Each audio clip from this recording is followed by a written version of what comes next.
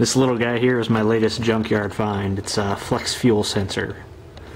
I've got it running through an Arduino with a 5 volts 10 ohm pull up. It's going to one of the IRQ pins. The sensor itself takes 12 volts, so yeah, don't get those confused.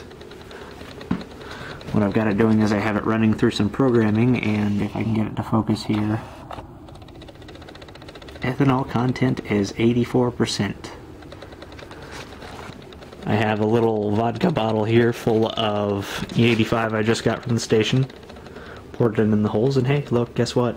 It's reading it. Just as a little demo, let me pour out the ethanol that's in it right now and put in some fresh gas.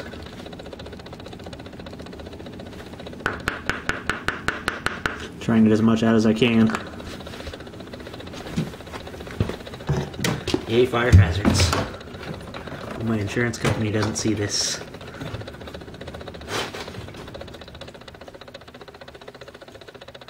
Yay, I spilled a little bit. Woohoo.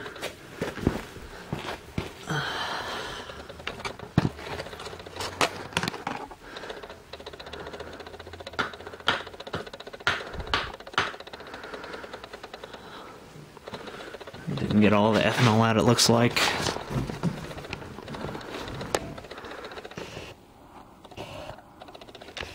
Now I am showing ethanol content is down to 24%.